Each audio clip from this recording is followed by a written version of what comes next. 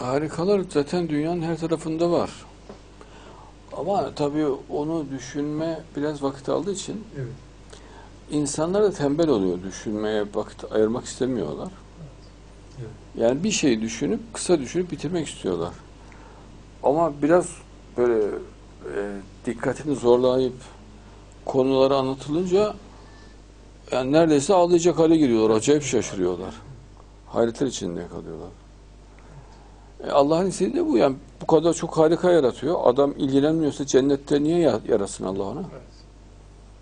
Ya bu dünyada ilgilenmiyorsa ahirette onu ilgilendirmez. Evet.